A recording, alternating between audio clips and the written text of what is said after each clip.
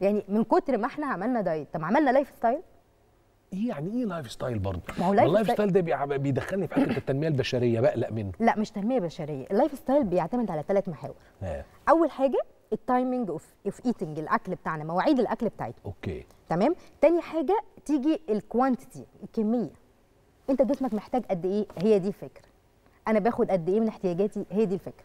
تيجي بقى تالت حاجة ال quality اللي آه. هي نوعية الأكل اللي أنا آه. ممكن ألعب فيها براحتي. يعني أنا ممكن ألعب ما يعني مثلا حتى ممكن ألخبط ممكن آكل كحك وبسكوت بس آكلها ب mindful eating آخد وأنا مركز أنا باكل إزاي.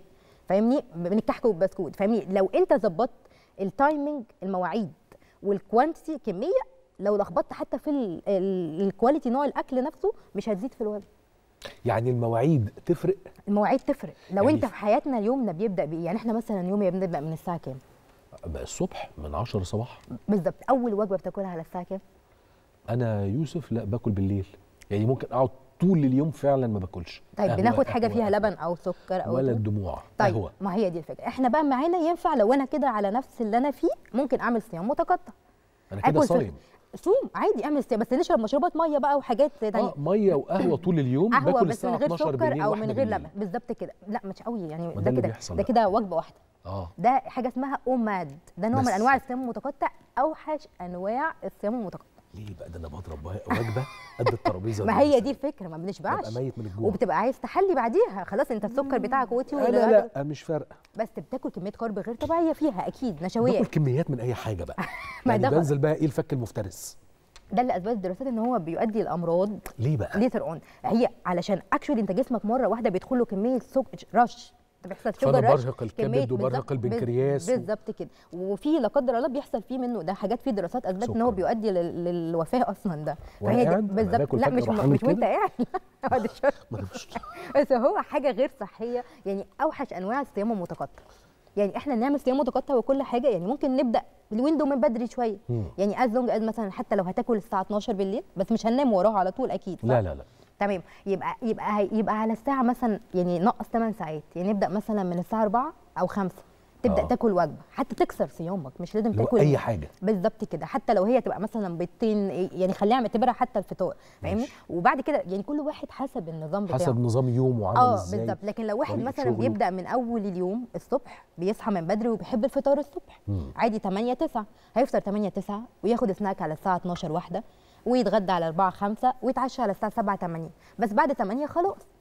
كل واحد according لليوم بتاعي. إيه فاهمني؟ يعني عشان كده ال timing ده من الحاجات المهمة.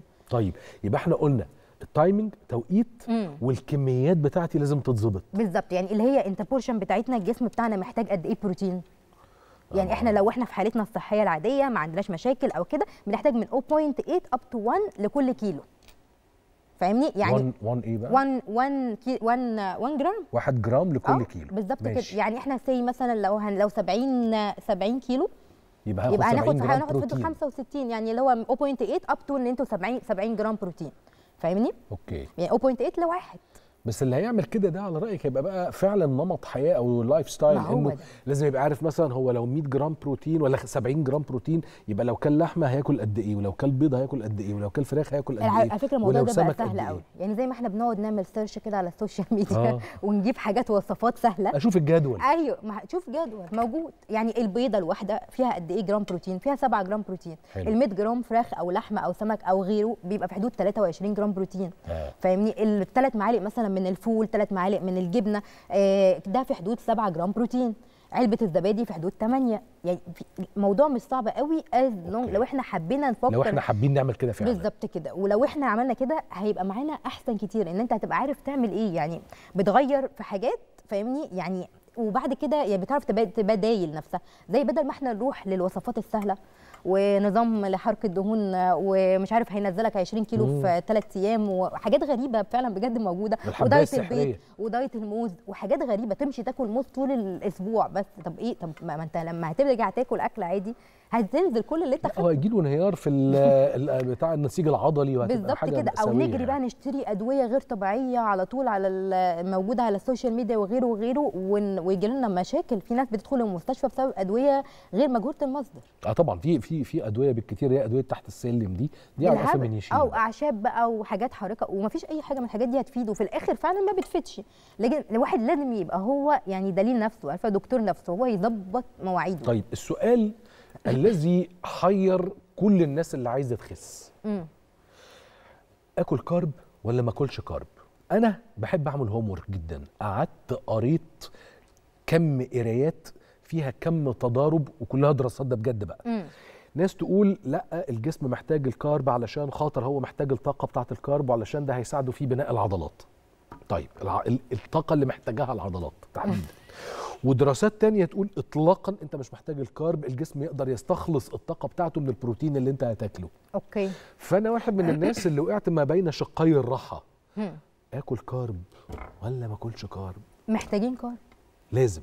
لازم ناخد carb ولو حتى إنت. عملنا عملنا نظام غذائي low carb فترة هترجع لازم تدخل ال carb وال low carb ده على فكرة اللي هو قليل النشويات إنه ده, آه. ده ده اللي أثبت دراسات إن هو يعني أفيد حاجات صحية تمام. أفيد نظام صحي فاهمني. على المدى البعيد حتى لل maintenance بتاع ال weight يعني لما الناس بتمشي على نظام غذائي low carb على فترة طويلة بعد كده بي maintain وا بيحافظوا على الوزن بتاعهم أكتر من أي حد نظام diet تاني مم.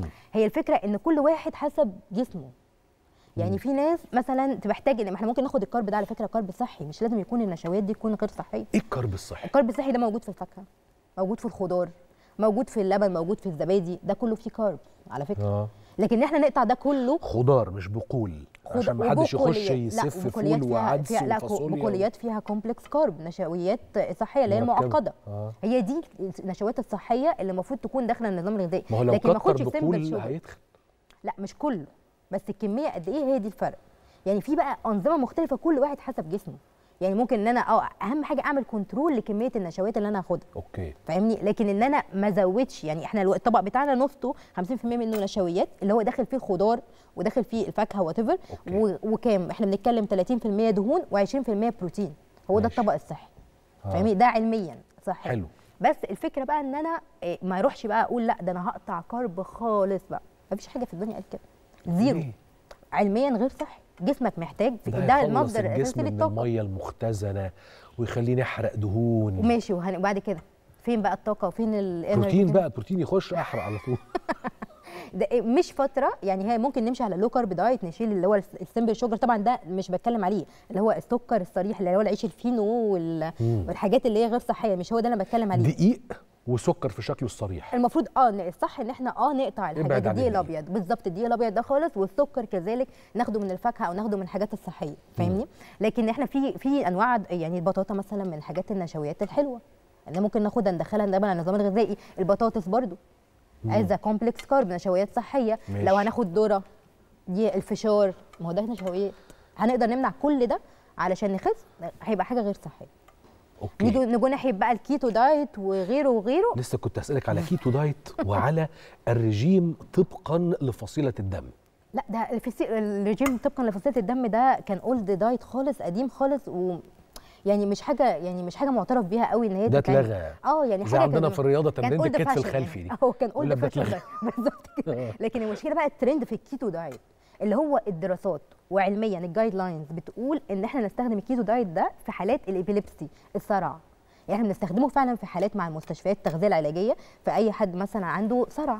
و not controlled مش ماشي على أدوية بس مش مظبوطة الأدوية مش ظابطة الأدوية معاه برضه محتاج نظام غذائي. فبنعمل له نظام keto. diet. ده واثبت دراسات إن هو مفيد وبيعمل فعلا نتائج حلوة جدا. لكن إن هو يبقى for life يبقى هو حاجة لا حاجة غير صحية ومفيش أي حاجة أثبتت إن إحنا نمشي على كيتو هو diet غريب برضه ما بفهموش. بي وهو بيستخدم أصل هي فكرة إن إحنا بناخد 70% من أكلنا دهون.